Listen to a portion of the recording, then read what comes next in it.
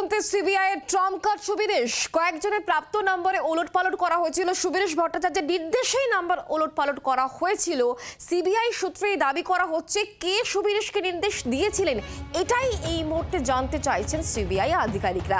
সুবিদেশের থেকে প্রভাবশালী সংক্রান্ত আরও বেশ কিছু তথ্য মিলেছে বলে সিবিআই সূত্রে খবর পাওয়া যাচ্ছে।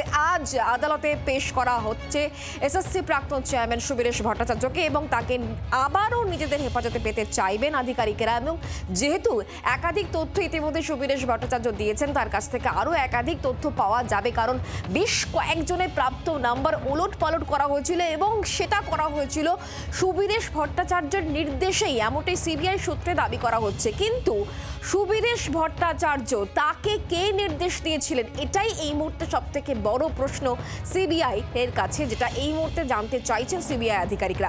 সুবিদেশের থেকে প্রভাবশালী সংক্রান্ত বেশ কিছু তথ্য পাওয়া যেতে পারে, এমনটাই সিবিআই সূত্রে আজ করা হচ্ছে এবং সে কারণেই আজকে তাকে আদালতে পেশ করে আবারও নিজেদের হেফাজতে চাইবেন সিবিআই আধিকারিকরা এমনটাই। খবর পাওয়া যাচ্ছে দু হাজার চোদ্দ থেকে দু হাজার আঠেরো এই সময়কালে এসএসসি তিনি চেয়ারম্যান ছিলেন এবং সেই সময়তে একাধিক গরমিল হয়েছিল বলে খবর। ঠিক কী কী ভাবনা, চিন্তা সিবিআই, আমরা জানব, কথা বলব, সরাসরি নজর রাখতে হচ্ছে আমাদের প্রতিনিধি বিক্রম এই মুহূর্তে আমাদের সঙ্গে রয়েছে বিক্রম খানিক্ষণ আগেও তোমার সঙ্গে কথা হচ্ছিল। সিবিআই এর কি ভাবনা, চিন্তা, কীভাবে তারা এগোতে চাইছেন? সুবীরেশ ভট্টাচার্য তিনিই কি এই মুহূর্তে সিবিআই ট্রাম্প কার্ড তাহলে কার্যত তাই তার কারণ সুবিরেশ ভট্টাচার্য তিনি প্রাক্তন এসএসসি চেয়ারম্যান এবং দু হাজার চোদ্দ থেকে দু হাজার আঠেরো সাল অবধি যেই সময় তিনি চেয়ারম্যান ছিলেন সেই সময় এই অপরাধ সংগঠিত হয়েছিল এমনটাই কিন্তু সিবিআই তরফ থেকে দাবি করা হচ্ছে। সিবিআই সূত্রের খবর যে এই যে দীর্ঘ পাঁচ দিনের সিবিআই হেফাজতের মেয়াদ যেখানে তাকে জিজ্ঞাসাবাদ করা হয়েছে ম্যারাথন জিজ্ঞাসাবাদ করা হয়েছে সেই জিজ্ঞাসাবাদে কিন্তু অনেক গুরুত্বপূর্ণ তথ্য বেরিয়ে এসছে।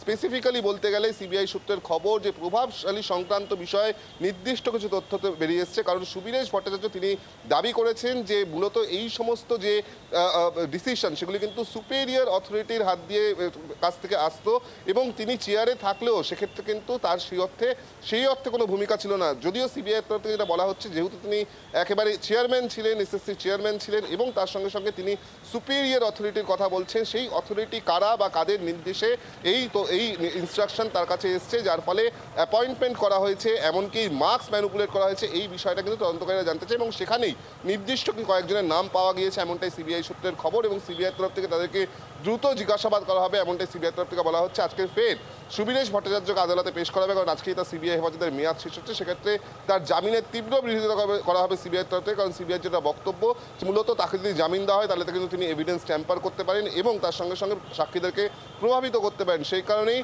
সুবীরেশ ভট্টাচার্যকে জুডিশিয়াল কাস্টাডিতে পাঠানোর যে আবেদন সেই আবেদন করতে পারেন তারা, অথবা পুলিশ কাস্টাডিতেও নিতে পারেন। কিন্তু আপাততভাবে সুবি- সুবীর ভট্টাচার্য সুবীরেশ ভট্টাচার্যের জামিনের আবেদন, তার তীব্র বিরোধিতা করবে সিবিআই এমনটা আমরা সিবিআই সূত্রে জানতে পারছি। এই যে তুমি আমাদেরকে জানাচ্ছিলে যে এই এই যে সুবীরেশ ভট্টাচার্য কোথাও গিয়ে যে নাম্বার ওলট পলট করা হয়েছিল ম্যানিপুলেট করা হয়েছিল এবং তিনি শুধুমাত্রই কাজ করতেন, কোনো একটা নির্দেশ এসেছিল, সেই নির্দেশ কে দিয়েছিল? সেক্ষেত্রে কি প্রভাবশালী বিষয়টা সামনে আসছে?